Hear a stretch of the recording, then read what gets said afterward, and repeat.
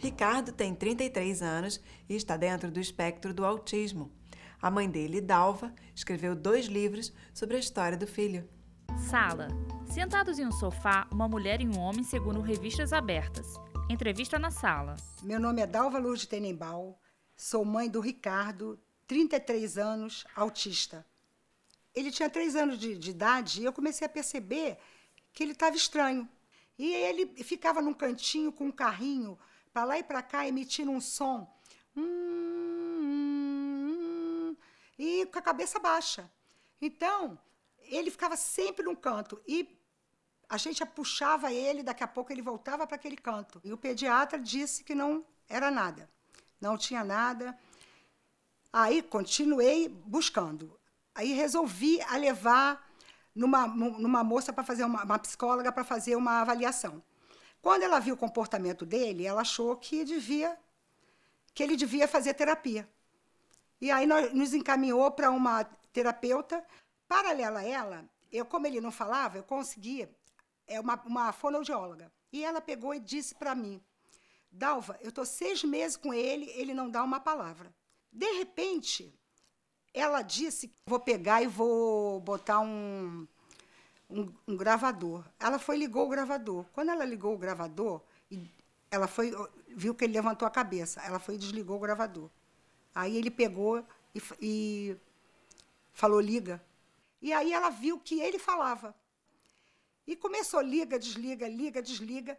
E através do gravador da música, ele começou, ela começou a trabalhar com ele a fala.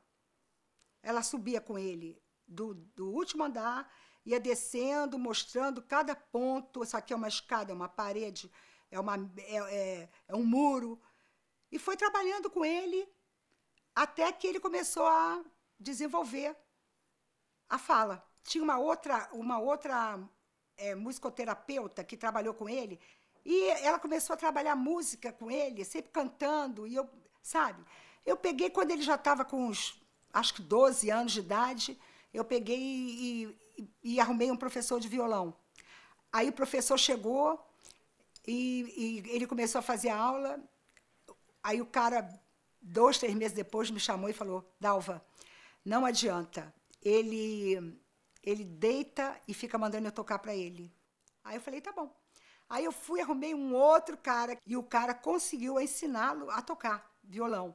Ricardo Tenembal, tenho 33 anos, gosto de tocar violão, fazer um monte de coisa. No quarto, Dalva e Ricardo sentados na cama. Já tinha uma escola regular, só que, que a escola não tinha inclusão. Ele tinha uma turma especial.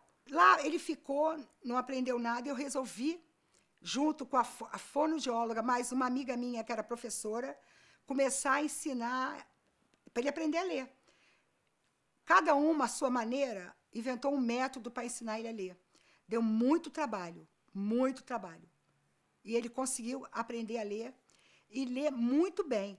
Eu também, para, para ajudar, como ele gostava muito de água, estava ele para nadar, e eu já estava no Master. Aí eu cheguei para a técnica do Master, Lucimar, e falei, Lucimar, olha só, eu tenho um filho assim, assado, Pô, não, não poderia trazê-lo para cá? Ela falou, claro, traz ele para cá. Foi a primeira vez que o Ricardo foi para uma turma de, de, de pessoas mais, de mais idade, que ele era bem, bem jovem ainda, tinha uns 18 anos, e, e se integrou ali, sabe? Foi muito bem recebido, as pessoas, nossa, tratavam ele muito bem. E ali ele foi desabrochando, foi ficando assim, sabe? Foi se acostumando, sabe? Porque ele, ele não ia um, um metro longe de mim. Foi dentro do Flamengo que o Ricardo conseguiu ir para o banheiro sozinho e comprar um refrigerante. Hoje ele anda normalmente pelo Flamengo, para lá e para cá. Eu vou para lá para perto da piscina e ele vai depois.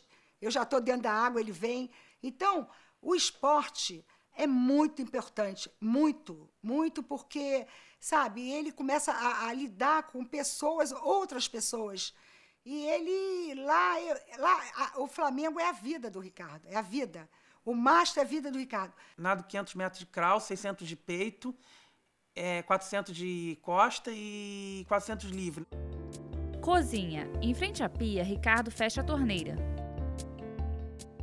E sempre que eu chegava perto dos profissionais para falar sobre isso, o que, que ele tem? Não sei. Todos, sem exceção, do médico a fono, todos, não sei. Vai ficar bom? Não sei. Depois de muitos anos que, come, que, que as pessoas começaram a falar sobre o autismo, que aí é que eu fui começar a me ligar, mas já estava com tudo assim, com todos com todo um tratamento formado, e cada ano que passava, eu ia viajar com ele pelo Brasil, pelo Flamengo, né? Tinha competições e nós íamos, e como eu ficava com ele no quarto, né? É, três, quatro dias, um, um, um contato com ele 24 horas, eu via o quanto ele estava modificando, o quanto ele estava melhorando, o que, que ele estava, o que, como ele estava mudando sempre para melhor. Viajei para Bahia, Aracaju, São Paulo, Teresópolis, Las Vegas, Miami. Não, viajei para Miami, Las Vegas, Miami, depois Rio de Janeiro, senão o dinheiro acaba. Cada ano que eu viajo com ele, eu vejo um outro Ricardo. Diferente. Um garoto que está evoluindo, evoluindo, evoluindo. Fotos. Na primeira, Dalva e Ricardo em uma livraria sentados à mesa autografam livros. Na segunda, Ricardo sentado autografa. Na terceira, sentado à mesa, ele sorri. Atrás dele, banner. Mãe, eu tenho direito. Eu gostava muito de escrever. E como eu tinha começado a usar um computador, eu falei, bom, eu vou, vou escrever sobre a história do Ricardo. E aí eu tive a ideia de ir anotando tudo que ia acontecendo com ele, falando, falando. Quando eu vi, tinha dados ali que eu resolvi transformar num livro. E aí eu escrevi o início da vida dele todinha até os 25 anos, que é o Mãe Me Ensina a Conversar. E depois que eu lancei esse livro, eu passei sete anos escrevendo o segundo, que é o Mãe Eu Tenho Direito, anotando sete anos o todo o comportamento do Ricardo, mudanças né, que ocorreram com ele. Inclusive, o, o, o meu primeiro livro é um livro que eu tenho muito carinho por ele e estou sempre divulgando, porque é um livro que eu, eu, eu ajudo as pessoas a não perder a esperança. Não pode perder a, não pode desistir. Então, por isso que eu, eu escrevi em respeito ao Ricardo, em homenagem ao Ricardo, que é um, o grande amor da minha vida. Já está falando de sonhos, que ele, pô, falar de um sonho para um autista é muita coisa. Eu quero que ele consiga mais, mais, mais, mais, mais, muito mais, porque ele tem potencial. Ricardo sentado à mesa da cozinha. Sobre a mesa, copo com suco, prato com sanduíche, outro com queijo, um fax e um telefone. Eu gosto de passear, ir ao cinema, eu gosto de sair com meu pai, gosto de ouvir música, eu gosto de fazer um monte de coisa. Esses aqui são meus CDs, esses, esses, esses, esses, esses. Todos esses aqui são meus CDs. Está aqui também. Em frente a um estante. Aqui tem espaço, aqui e aqui. O que eu mais gosto de ganhar de aniversário é CD, porque roupa não gosto não. Guardo a minha coleção toda aqui. Meus três CDs preferidos são Golden Boys, Gino Geno e Jean Giovanni. Ricardo pega um dos CDs na prateleira da estante. Quem quiser adquirir o livro, é só entrar na internet e procurar uma livraria, né? E pelo nome eles entregam até em casa, é muito fácil. É Mãe me ensina a conversar, Vencendo o autismo com amor, e o outro é Mãe eu tenho direito. Sobre uma mesa com tampo de vidro, os livros Mãe me ensina a conversar e Mãe eu tenho direito.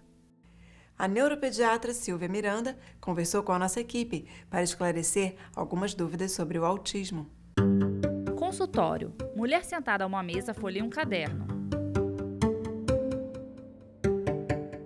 Eu sou Silvia Miranda, eu faço neuropediatria e eu acompanho muito desenvolvimento de crianças e eu venho acompanhando e diagnosticando e ajudando as famílias com o diagnóstico das crianças que estão dentro do espectro do autismo nesses 40 anos que a gente vem trabalhando aqui.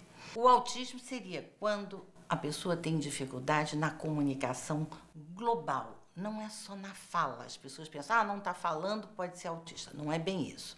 São pessoas que têm dificuldade no, no comunicar no global, principalmente na leitura do que se passa em volta de si próprio.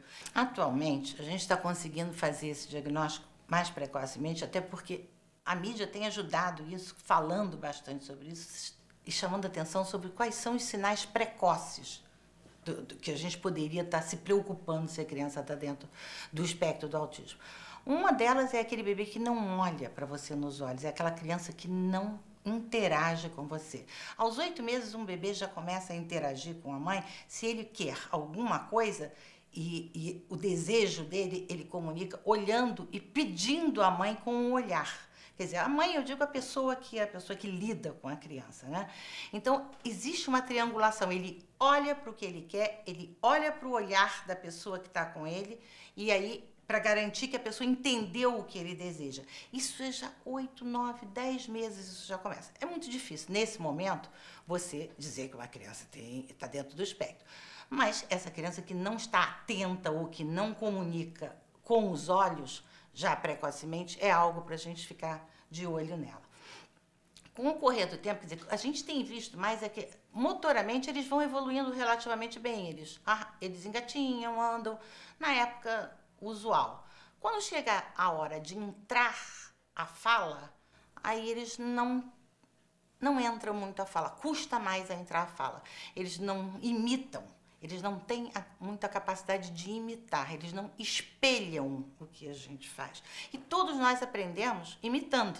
Né? Então, aquele bebê que não imita, que não dança igual, que não, que não levanta a mãozinha, que não bate palminha, que não dá tchau, que não dá beijinho, que, e que principalmente não se interessa por comunicar com você pelo olhar, porque o bebê se interessa por olhar a boca da gente mexendo quando a gente está falando. Eles não sabem ainda como é que eles vão articular, mas eles fixam no, na boca da gente para poder ver como é que a gente mexe, na mímica. E isso é comunicação, porque, na verdade, a palavra na, na nossa comunicação ela tem 20% de valor só. O resto é comunicação é é, não verbal, é o corpo que mexe, é a mímica que mexe, é, é, é, é a entonação que você usa, é isso que faz a comunicação. Sentada à mesa, Silvia escreve no caderno. Têm interesses muito específicos. Até a, a gente percebe muito que muitos são interessados e sabem todos os nomes de todos os dinossauros, todas as bandeiras, todos os trens, todos, cada um se interessa por um, por um tipo de coisa, mas é, são interesses muito específicos. Então você tem que ampliar o mundo dessa criança na medida do possível, tentar ir ampliando e achar qual é o canal de entrada. Cada um tem seu canal de entrada. Muitas das vezes o canal de entrada é a música. Silvia continua a escrever sobre a mesa materiais de papelaria cola, canetas, clipes, na parede, fotos em um quadro imantado. Coisas que a gente tem visto nessas crianças é que elas têm uma dificuldade na integração do sensório. Como é que a gente. O que é o sensório? Seriam todas as entradas sensoriais. Como é que a gente aprende?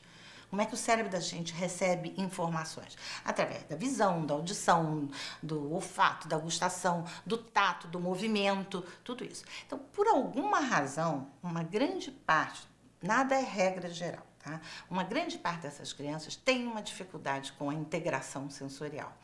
Então, o, que, o que, eu quero dizer com isso? São crianças que o som às vezes incomoda, elas têm qualquer som, por exemplo, de um liquidificador ou de um, ou de um aspirador elas choram. É, são crianças que se, são movimentadas muito rapidamente, elas, elas choram, não gostam de areia, têm agonia com areia, têm agonia de ficar sujas, de, mel, de melar a mãozinha. Aí o que, que a gente faz? A gente faz um trabalho de desensibilização e de integração desse sensorial. Com movimento, com, com estimulação labiríntica, com tato, com tudo. E isso ajuda para ser a base de um início de uma linguagem. Então, no início, a gente usa muito integração sensorial e tem pessoas da área de terapia ocupacional que fazem isso muito bem. Outra coisa que a gente, é, é, de alguma forma, é, aconselha muito é a ecoterapia. O cavalo em si, aquele movimento, aquilo faz uma integração sensorial que ajuda as crianças. Essa coisa da integração sensorial é para organizar a criança internamente, porque eles se desorganizam muito fácil. Então, o início do trabalho com a criança com essa sintomatologia é um trabalho de integração sensorial e de conscientização dos pais em relação às possíveis dificuldades. Nos pais, a gente está sempre ensinando aos pais a buscar os olhos da criança, a não, é, é, vamos dizer assim, adivinhar os desejos da criança, tentar fazer com que a criança escolha as coisas.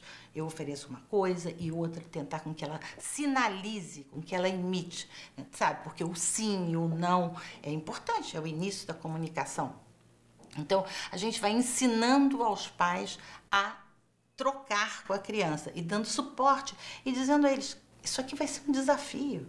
Isso aqui é interessante. É uma criança que funciona só diferente da gente. A gente tem que aprender como é que lida com ela. E cada um vai ser, vai funcionar de um jeito. Não adianta a gente chegar e dizer assim: qual é o tratamento? Me dá um, uma receita de bolo. Não tem receita de bolo. Não tem. Cada um vai responder de um jeito e quanto mais esses pais buscarem ler e entender, e até depoimentos de pessoas que tiveram esse comportamento quando criança, esses depoimentos ajudam a gente a entender como que eles se sentem, os pais vão criar dentro de si próprio a forma de lidar com aquela criança. Silvia Sobrinha Frase em um livro aberto. Para vocês que acabaram de saber que o seu filho está enquadrado, está dentro desse espectro do autismo, não tenham medo. Vão à luta, essa criança. Então, se ela for amada e se ela for olhada como um desafio, eu tenho certeza que a gente consegue muito para ela a longo prazo. Silvia folheia o livro. Nossa equipe foi até Vitória conhecer o robô Mária, que ajuda no desenvolvimento de crianças com autismo. O robô é um projeto de um grupo de pesquisa da Universidade Federal do Espírito Santo. Homem ajoelhado no chão segura um notebook fechado e apoia uma base onde há aparelhos fixados, entre eles um monitor. Outro homem sentado toca no monitor. Entrevista com o um terceiro ao lado de uma robô.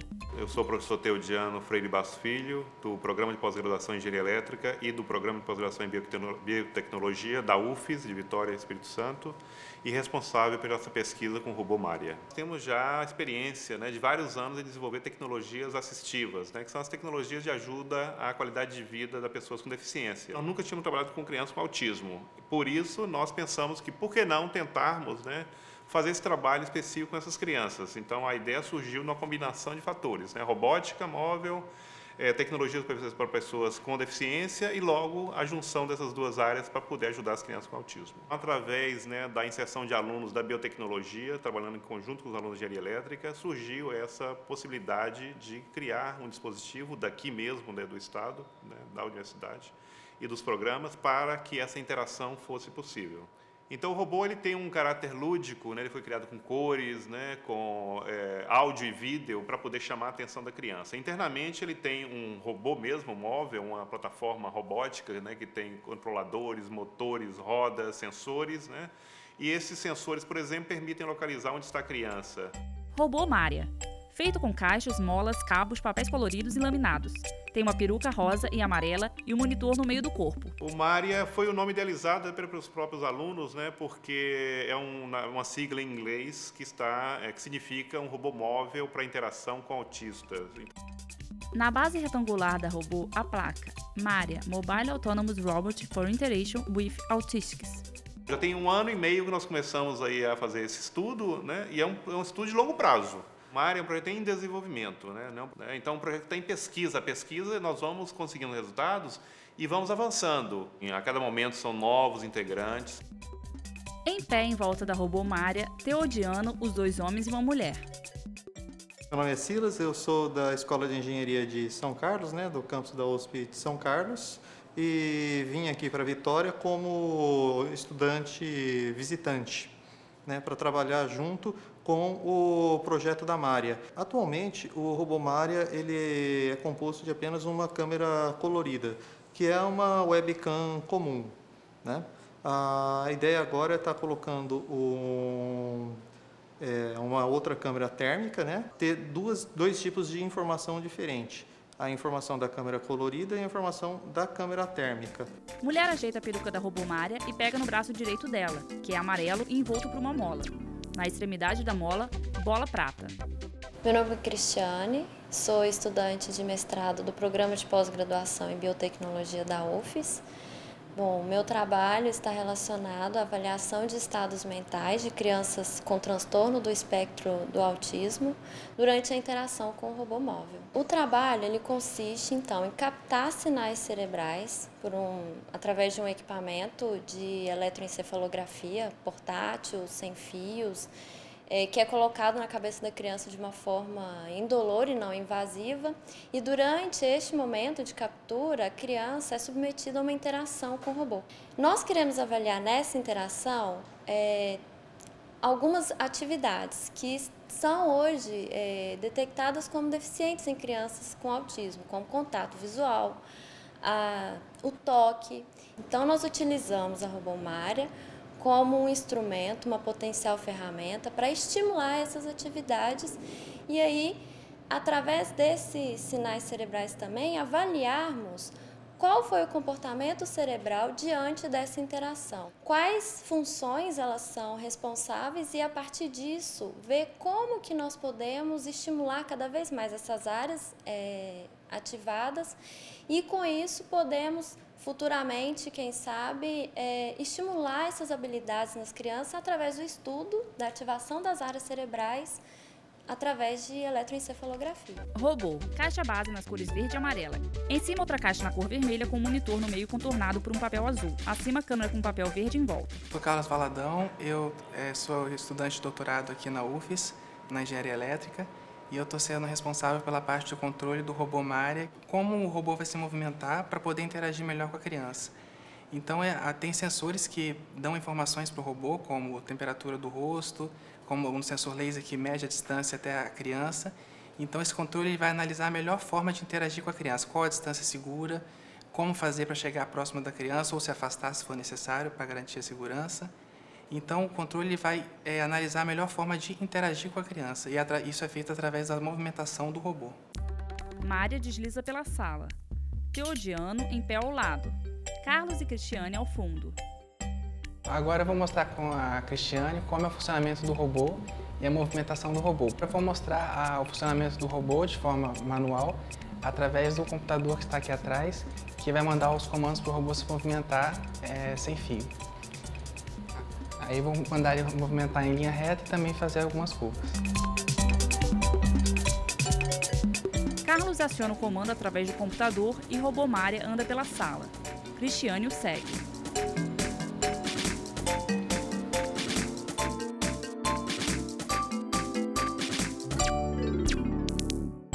Mimetizando a criança com autismo, eu vim acompanhando a Mária e parei aqui na frente dela.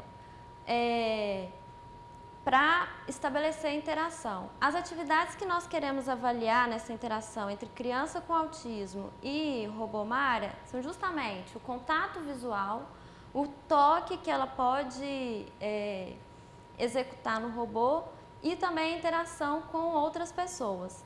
Para atrair a atenção da criança, nós é, contamos, além de formas e cores, as, a forma assumida também de um aspecto feminino, onde nós podemos contar com mais cores e apetrechos para atração da atenção da criança. Além disso, para atrair essa atenção, a gente conta com um monitor e um sistema de alto-falantes para que a gente possa emitir videozinhos e, e vídeos infantis, videoclipes, enfim, também para atrair atenção um sistema de câmera para captar as expressões sociais das crianças durante essa interação e um sistema laser, que me permite, é, o robô, ele capta através desse sistema laser a posição em que a criança se encontra, de modo a estabelecer uma distância mínima entre ele e a criança, é, uma distância mínima segura de interação.